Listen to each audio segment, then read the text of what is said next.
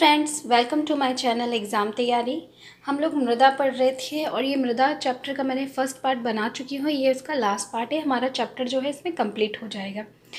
तो इसमें हम क्या देखेंगे? इसमें हम देखेंगे मृदा के कुछ गुण।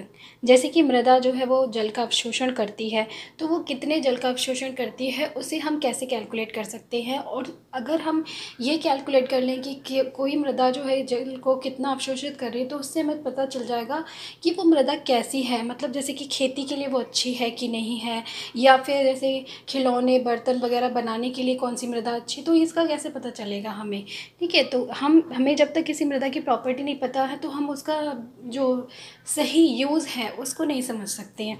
तो हम इसमें देखेंगे मृदा के गुण, यानी प्रॉपर्टीज़ ऑफ़ सॉइल सबसे पहले है मृदा में जल अंतःस्रवण दर, यानी अंतःस्रवण का मतलब क्या है कि कोई मृदा जो है कितने जल को अवशोषित करती है, उसका क्या दर है, यानी क्या उसकी रेट है वो हम कैसे पता करते हैं।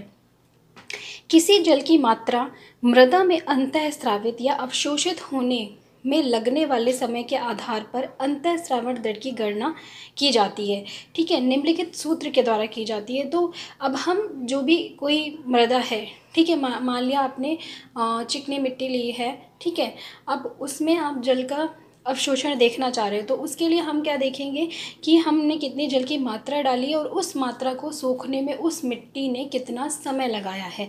ठीक है तो इसके आधार पर हम उस जो भी मृदा है, उसके अंतःस्रवण दर की गणना कर सकते हैं। उसके लिए सूत्र दिया गया है, अंतःस्रवण दर, ठीक है, इसका मात्रक होता है मिलीलीटर प्रति मिनट। इसको हम निकाल सकते हैं जल की मात्रा बटे अंतर श्रवण अवधि, यानी कितना समय लगा उस मात्रा को ग्रहण करने में, या फिर आप कह सकते हो अवशोषित करने में। इंग्लिश में इसका फॉर्मूला है परकोलेशन रेट पर एम पर मिनट ये इसका यूनिट है amount of water upon percolation time तो मान लिया कि हमने टू हंड्रेड एम वाटर लिया था और उसको एक हमने मृदा ली, उसको जल को अवशोषित करने में बीस मिनट निकल लगे। तो जब हम इसको कैलकुलेट करेंगे तो हमें मिलेगा टेन एम पर मिनट यानी कि उस जो भी मृदा थी जिसमें हमने ये एक्सपेरिमेंट किया, उसकी जो अंतस्रवण दर है वो क्या है? वो है दस मिलीलीटर प्रति मिनट ठीक है? दूसरा आता है मृदा में नमी।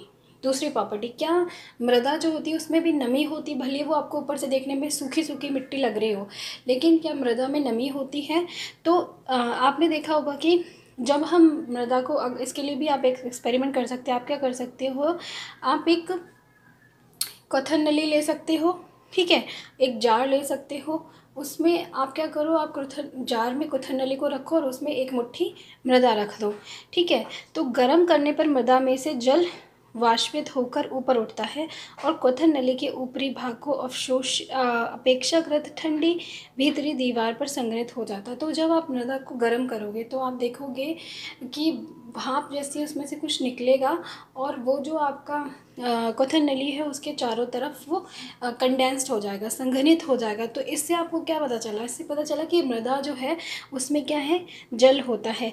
तो गर्मियों में क्या होता है कि गर्म दिनों में मृदा से जल के वाष्पन के कारण ऊपर उठती जल वाष्प को अपेक्षाकृत संघन बना देती है और इससे सूर्य के प्रकाश के परावर्तन के कारण मृदा के ऊपर की वायु हमें कंदिप्त यानी कि शिमर प्रतीत होती है, ठीक है? तो ये इससे क्या पता चलता है हमें कि एक और गुण मृदा का ये है कि मृदा जो है उसमें मॉइस्चर होता है, यानी नमी होती है।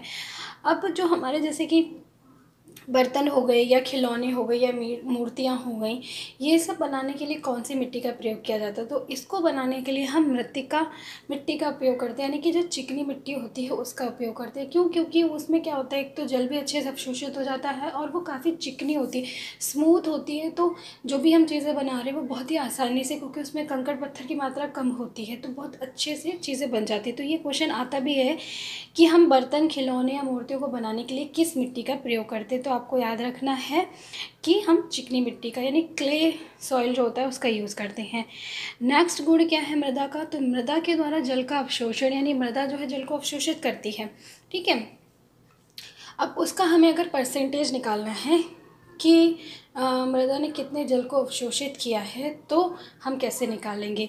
तो उसके लिए क्या है कि अवशोषित जल का प्रतिशत बराबर यू माइनस वी अपॉन मृदा का भार इंटू हंड्रेड ये फॉर्मूला होता है। अब इसमें यू क्या है?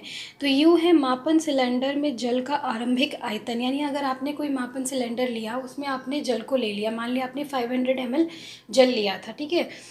वीकर में मिट्टी लोगे आप फनल में आप मिट्टी लोगे, जो कीप होती है उसमें, उसको आप क्या करो? एक वीकर में रख दो। उसमें आप मिट्टी लो। फिर आप उसमें जो वाटर है उसे डालो।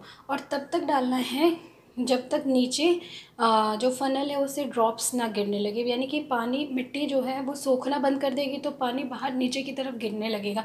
वहाँ पे आपको स्टॉप करना है। अब उतनी देर में जो आपको, पहला तो ये, यू है कि आरंभिक आयतन हमने कितना लिया था? यानी हमने फाइव हंड्रेड एम हमने वाटर लिया था। फिर मापन सिलेंडर में जल का अंतिम आयतन। अब हम देखेंगे कि जब वो ड्रॉप ड्रॉप करने लगा, तब हम स्टॉप हो जाएँगे। फिर हमारा जो सिलेंडर था, उसमें कितना जल बचा है? वो हो गया हमारा वी एम मृदा द्वारा अवशोषित जल का आयतन। तो अब हम कैसे पता लगाएँगे कि मृदा ने कितना जल अवशोषित किया? जो पहले था हमारा और जितना बचा है तो पहले में से हम बचे को माइनस कर देंगे तो हमें पता चल जाएगा। तो वो हो गया हमारा यू माइनस वी मान लिया हमने फाइव हंड्रेड लिया था। और हमारा अब वीकर में हमारे पास टू हंड्रेड बचा है। तो five hundred minus two hundred यानी three hundred three hundred M L क्या हो गया? मृदा ने अवशोषित कर दिया। मृदा द्वारा अवशोषित जल का द्रव्यमान। अब यू माइनस वी ग्राम में जो होता है, वो मृदा द्वारा अवशोषित जल का द्रव्यमान होता है। ठीक है? और नीचे यहाँ मृदा का भार हमें द्रव्यमान में लिखना है। यानी हमने कितनी मृदा ली है? यानी हमने सौ ग्राम मृदा ली दो सौ ग्राम मृदा। वो हम यहाँ पे लिखेंगे। तो हमें क्या है ना टोटल पता चल जाएगा अवशोषित जल का प्रतिशत। ठीक है अब ये फॉर्मूला आपको पता होने चाहिए क्योंकि इससे रिलेटेड क्वेश्चन आ सकते हैं तो आप उन्हें फिर इजीली कर लेंगे। और लास्ट है हमारा मृदा और फ़सलें, यानी किस तरह की फ़सल जो है उसके लिए कौन सी मिट्टी अच्छी होती है, यानी उसमें अच्छे से वो बेहतर तरीके से वो फ़सल होती है, या आप कह सकते हो कि कौन सी जो फ़सल है वो किस मिट्टी में उगाई जाती है? क्वेश्चन बहुत बार आते हैं कि गेहूँ या जलोढ़ मिट्टी हो गई या फिर अब जलोढ़ मिट्टी के बारे में मैं आपको बताऊँगी, बलुई मिट्टी हो गई, इन सब में कौन सी फ़सल उगाई जाती है? तो ये बहुत इंपॉर्टेंट है। भारत में देखिए विभिन्न क्षेत्रों में भिन्न भिन्न प्रकार की मृदा पाई जाती है। अलग अलग क्षेत्र जो है, वहाँ पर अलग अलग तरह की मृदा पाई जाती है। इसी वजह से क्या होता है अलग अलग क्षेत्रों में अलग अलग तरह की खेती भी की जाती है। कहीं पर चावल ज़्यादा उगाए जाते हैं, कहीं गेहूँ ज़्यादा उगाए जाते हैं, है ना? कहीं दालें ज़्यादा उगाई जाती हैं। उनका क्या कारण है? उनका कारण है कि अलग अलग मृदा जो होती है, वो अलग अलग क्षेत्रों में पाई जाती है। पवन, वर्षा, ताप, प्रकाश और आर्द्रता द्वारा मृदा प्रभावित होती है। अब मृदा जो होती है किसी भी क्षेत्र की, वो किन किन चीज़ों से प्रभावित होती है?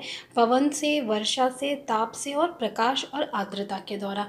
ये कुछ प्रमुख जलवायु कारक है, जो कि मृदा की संरचना में परिवर्तन कर देते हैं। ठीक है, मृदा की संरचना मैंने आपको बताई थी ना, ये ये चार डिफरेंट लेयर्स होती हैं। तो उनमें जो परिवर्तन है, वो इन कुछ जलवायु कारणों की वजह से हो जाता है।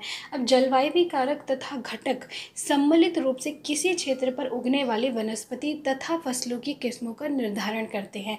अब कोई भी क्षेत्र वहाँ पे किस तरह की फ़सल जो है वो उगाई जाएगी, वो किस पे डिपेंड करता है? वहाँ की मिट्टी पे, वहाँ की जलवायु पर। ठीक है, ये जो जलवायु कारक है, उन पर। ठीक है तो अब हम देखते हैं कि किस मृदा में कौन सी जो खेती की जाती है या कौन सी फ़सल उगाई जैसे जैसे मृडमय और धुमटी मृदा जो है, उन दोनों में गेहूँ और चने जैसी फ़सलों की खेती के लिए वो उपयुक्त होती हैं। क्यों? क्योंकि ऐसी मृदा का जो धारण क्षमता है, वो बहुत अच्छी होती है। यानी ऐसी मृदा जो होती है, उसमें जल जो होता है, वो बहुत अच्छे से यहाँ पे हम जल धारण क्षमता ठीक है तो ऐसी मृदा की जल धारण क्षमता जो है बहुत अच्छी होती है, इसलिए ये गेहूँ और चने के लिए अच्छी होती है। फिर धान धान क्या होता है? धान की खेती को बहुत ज़्यादा पानी की ज़रूरत होती है तो धान के लिए मृतिका एवं जैव पदार्थ से समृद्ध तथा अच्छी जल धारण क्षमता वाली मृदा आदर्श होती है, यानी चिकनी मिट्टी, क्योंकि उसमें क्या होता है, वो काफ़ी अच्छे से जल को अवशोषित कर लेती है, जैव पदार्थ भी होने चाहिए धान के लिए, ऐसी मृदा जो है वो धान के लिए अच्छी है। मसूर और अन्य दालों के लिए दुमटी मृदा की आवश्यकता होती होती है, ठीक है? दालों के लिए दुमटी मृदा होती है, कपास यानी कॉटन के लिए बलुई दुमट तथा अथवा दुमट मृदा अधिक उपयुक्त होती है, जिसमें जल की निकासी आसानी से हो जाती है और वायु पर्याप्त मात्रा में रहती है। यानी कपास के लिए हमें ऐसी मिट्टी चाहिए जिसमें क्या है, जल आराम से निकल जाए, उसमें ठहरे नहीं। जैसे धान के लिए हमें चाहिए कि जिसमें जल ठहर जाए, लेकिन कपास के लिए हमें चाहिए जिसमें जल आसानी से निकल जाए और वायु की मात्रा भी अधिक रहे, क्योंकि उसमें गैप रहेगा, पानी आसानी से निकल जाएगा, गैप रहेगा तो उस गैप में क्या वायु भी बनी रहेगी। तो हमें कपास के लिए ऐसी मिट्टी जैसे कि बलुई, दुमट या दुम दुमट मृदा की आवश्यकता होती है। ठीक है तो ये तो था हमारा कि कौन कौन सी मिट्टी की आवश्यकता होती है। अब बात जलोढ़ मिट्टी क्या होती है, ठीक है तो ये इंपॉर्टेंट है, जलोढ़ मिट्टी क्या होती है? उत्तर भारत के अनेक नदियाँ हिमालय क्षेत्र से मैदानी क्षेत्र की ओर बहती हैं और ये अनेक पदार्थ लाती हैं, जिनमें से गाद, मृतिका, बालू, बजरी हैं, ठीक है, इन पदार्थों के मिश्रण को जलोढ़ मृदा कहते हैं और ये मृदा बहुत ही ज़्यादा उर्वर होती है। तो जलोढ़ मिट्टी कौन सी होती है? जो कि उत्तर भारत के क्षेत्र से जो नदियाँ बहती हैं, हिमालय से मैदानी क्षेत्रों की तरफ़ आती हैं, वो अपने साथ क्या है? वो बहुत सारी चीज़ें लेकर आती हैं, ठीक है? जैसे जिसमें गाद होती है, मृतिका मृतिका क्या क्या मतलब है? ह्यूम मृतिका मिट्टी होती है, बालू होती है, बजरी होती है तो ये सारी चीज़ें मिलके क्या बनाती हैं? हमारा जलोढ़ मृदा बनाती हैं, ठीक है? तो ये इंपॉर्टेंट है और ये मृदा जो होती है वो बहुत ही ज़्यादा उर्वर होती है बहुत ही ज़्यादा फर्टाइल होती है। तो ये तो थी, चलो, मिट्टी क्या होती है। अब लास्ट पॉइंट हमारा है इसमें, हम पढ़ेंगे यहाँ पे सुहागपुर के बारे में। सुहागपुर जो है, वो बहुत ज़्यादा फ़ेमस है। वहाँ पे सुराइयाँ और मटके जो है, बनाए जाते हैं और वो वहाँ के जो बने हुए सुराई और मटके होते हैं, वो बहुत दूर दूर तक प्रसिद्ध हैं। तो आप इसका नाम याद कर लीजिएगा। कहाँ के सुराई और मटके प्रसिद्ध हैं? वो लोग क्या करते हैं? देखिए, मिट्टी के बर्तन बनाते हैं और मिट्टी के बर्तन बनाने के लिए काली मिट्टी का प्रयोग करते हैं और उसमें वो घोड़े की लीद की कुछ मात्रा मिलाते हैं। तो यहाँ पे ये है कि घोड़े की लीद क्यों मिलाई जाती है? अब घोड़े की लीद इसलिए मिलाई जाती है कि जब बर्तन को वो पकाते हैं तो लीद जो है वो जल जाती है। जिससे क्या होता है, मृदा के जो पात्र वो बना रहे हैं, जैसे कि मटका बना रहे हैं या फिर सुराही बना रहे हैं तो उनमें क्या होता है छोटे छोटे से छिद्र हो जाते हैं। और इसी कारण जब हम मटकों या सुराही में जल जो है, वो भरते हैं तो वो अंतर स्रावित होकर उनकी बाहरी सतह पर आ जाता है, उन छेद छिद्रों के माध्यम से, ठीक है? वहाँ से ये वाष्पित होकर निकल जाता है और जिससे घड़े में रखा जो जल होता है, वो कैसा होता है? ठंडा हो जाता है। तो ये कारण है कि जल जो है, उस मटकों में ठंडा हो, होता रहता है। तो यहाँ पे ये इम्पोर्टेंट पॉइंट था। फिर है जल, पवन अथवा बर्फ़। द्वारा मृदा की ऊपरी सतह का हटना अपर्दन यानी इरोज़न कहलाता है। तो इरोज़न क्या है कि जब जो मृदा है, उसकी ऊपरी सतह जो है वो हट जाती है, वो उसके क्या कारण हो सकते हैं? जल के द्वारा, जल के साथ बह जाए उसकी या पवन के साथ उड़ जाए, ठीक है, मिट्टी उड़ने लगती है, आपने देखा बहुत तेज हवा चलती है तो अथवा बर्फ़ द्वारा जो है मृदा की ऊपरी सतह का हटना क्या है, अपर्दन कहलाता है और मृदा का अपर्दन मरुस्थल अथवा बंजर भूमि जैसे स्थानों पर अधिक होता है। क्योंकि जहाँ पे पेड़ पौधे होते हैं, पेड़ों की जड़ें क्या होती हैं, मिट्टी की ऊपरी लेयर में होती हैं, आपको बताया मैंने तो वो उसको मिट्टी को जकड़े रहती हैं तो वहाँ से उनका इरोज़न या अपर्दन नहीं हो पाता है। लेकिन जो बंजर या खाली जगह होती है, वो, वहाँ पर क्या होता है कि पेड़ पौधे नहीं होते, इसलिए वहाँ पर आसानी से अपर्दन हो जाता है। इसलिए कहा जाता है कि पेड़ों पेड़ पौधों को नहीं काटना चाहिए, क्योंकि उससे क्या है, मिट्टी की उर्वरता ख़राब हो रही है, मिट्टी की ऊपरी लेयर जो है, वो बह जा रही है, अपर्दन हो रहा है, जो कि उस मिट्टी के लिए अच्छा नहीं है। इसीलिए बोला जाता है ज़्यादा से ज़्यादा पेड़ पौधे जो है, वो लगाए जाएँ, खाली स्थानों को मतलब ज़मीनों को खाली ना रखा जाए। तो यहीं पे हमारे जो चैप्टर मृदा है, वो पूरा कंप्लीट होता है। और आई होप आपको चीज़ें अच्छे से समझ में आई होंगी। प्लीज़ वीडियो को लाइक कीजिएगा।